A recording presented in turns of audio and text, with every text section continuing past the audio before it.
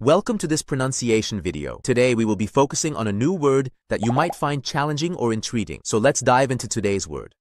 Forlì, which means a city in Emilia-Romagna, Italy, administrative center of Forlì Cesena. Let's say it all together. Forlì. Forlì. Forlì. One more time. Forlì. Forlì. Forlì. Thank you for joining us on this adventure in pronunciation. Remember, language is a journey, not a destination. Keep exploring, experimenting, and expanding your linguistic horizons. We'll see you next time.